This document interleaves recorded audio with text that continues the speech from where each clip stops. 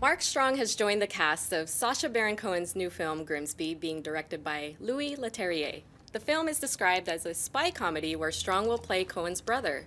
Grimsby follows a British Black Ops agent, played by Strong, who is forced to go on the run with his long lost brother, Baron Cohen, who is a Northern English Southern hooligan.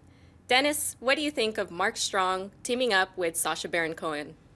I really like it. Uh, I think Sacha Baron Cohen is hilarious. I love his Ali G character. I love his Borat character. Bruno, I'm not too fond of, but I think he's awesome. And then Mark Strong, he doesn't really play. I don't think he's been in any like like hardcore comedies, has he? Like, Can't think. Well, I mean, other than like the stuff that he's done with uh, Guy Ritchie, Mm-hmm. um, so whether you're talking about rock and roll and, and stuff like that, but those have pure comedy? pure no, I don't think so. No. No, I can't think of But I, I think he'll play this character well because Kick-Ass. Yeah, kick ass. Like he was good in kick ass. He, he was still the straight man, so he'll be the straight man in this. So I think I think he's gonna bring. He has.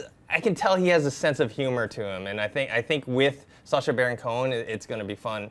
And I, I like. Uh, I don't love Louis Leterrier's movies, but I enjoy them. The Hulk, and uh, I even like Now You See Me for what it was. Oh, really? Yeah. Oh. What do you think? Well, I, I think this is interesting casting. I'd love to see Mark Strong play up on his tough guy image. So it sounds like it's going to be him with the straight man, Sacha being the overtop soccer hooligan. But yeah, I'm interested in this choice of Louis Leterrier. I mean, he's known for his action. He hasn't done any comedies unless you count the Transporter movies as a comedy.